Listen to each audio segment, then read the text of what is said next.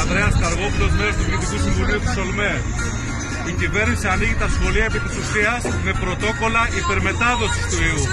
Δεν παίρνετε κανένα προληπτικό μέτρο για να ελεγχθεί η διάδοση του ιού πριν μπει μες στο σχολείο και όλα τα μέτρα έχουν να κάνουν σε σχέση με το αν διαδοθεί μες στο σχολείο και μετά.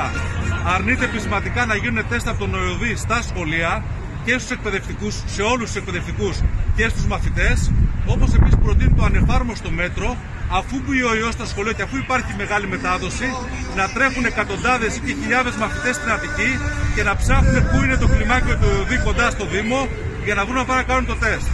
Εμείς απαιτούμε αρέωση των μαθητών ανατάξει, πρόσληψη προσωπικού και βοηθητικού και εκπαιδευτικού, τεστ από τον ΕΟΔΗ μέσα στο σχολείο και βέβαια μέτρα στήριξης που κανονικά αυτό θα έπρεπε να συζητάμε των μαθητών γιατί έχουν τεράστια κενά πολλές ελλείψεις, πολλά προβλήματα και σε ψυχοκοινωνικό επίπεδο.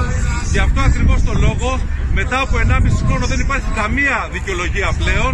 Υπάρχουν μόνο εγκληματικές ευθύνες. Να σταματήσουμε να συζητάμε τα αυτονόητα για το αν πρέπει να είναι λίγοι μαθητές ή να έχουμε παράθυρα, να ειρίζονται οι αίθουσε και να συζητήσουμε για το ουσιαστικά το πώς θα στηρίξουμε τους μαθητές μας. Και βέβαια δεν είναι στήριξη ούτε η ελάχιστη βάση εισαγωγή, ούτε η τράπεζα θεμάτων.